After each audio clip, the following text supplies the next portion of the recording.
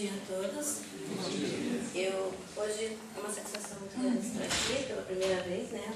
É, eu participo dessa reunião, né? Meu marido faz parte da Sintec também. E mais está camado. Eu vou procurar fazer alguma coisa assim dentro da religião de matriz africana, que é, eu acompanho ele, mas eu sei o que fazer. Se eu fosse trazer os alimentos que a gente é usado por cada orixá, é, seria muita coisa. E são alimentos que é servido quente, é coisas salgadas, então o horário não daria, né?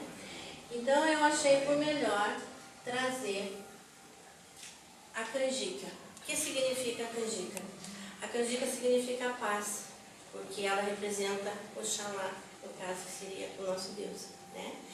Então, Deus é um só, não é verdade?